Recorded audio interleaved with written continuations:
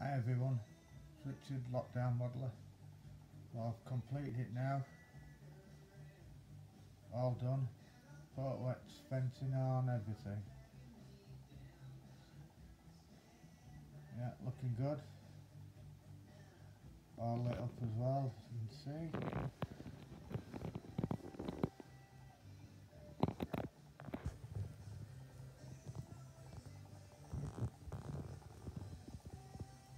I've left the superstructure loose because I'm going to pack it away like I said in the last video.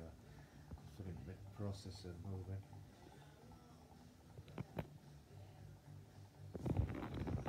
Uh, I'm just going to stop it spinning when it comes round because I just want to show you in the back.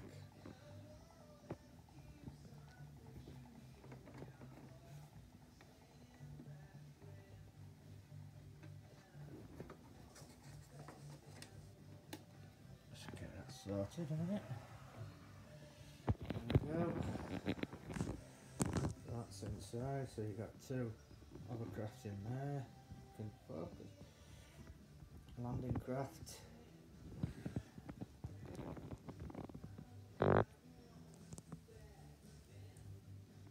Think that's an F-13, I think, isn't it?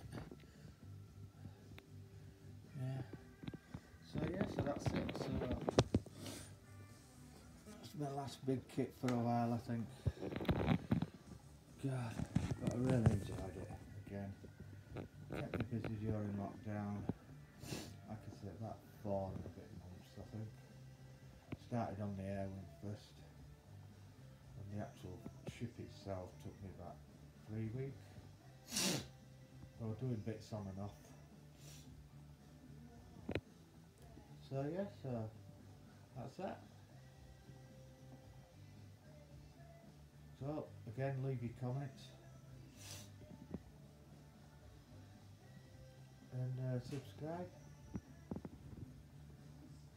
Thank you very much. See you later, guys.